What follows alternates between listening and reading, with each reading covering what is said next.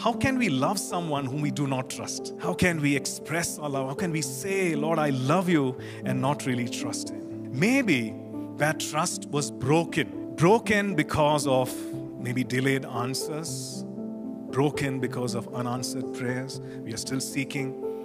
You know, broken because we don't have finite understanding. We're not able to fathom, put together these things. Why did this happen? Why did this happen to me? Lord is saying, you know, you come back. You come back. Let me replace that. Let me restore that place of trust. Come back to that place of trusting wholeheartedly again. Just because that we didn't get our prayers answered in a certain way doesn't mean that God has changed.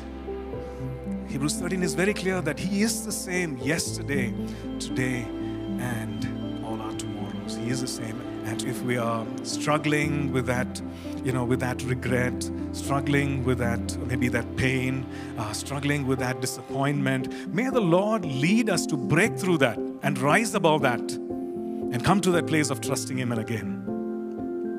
Amen. So to love God is to trust Him. And it involves making a choice, it involves making a decision.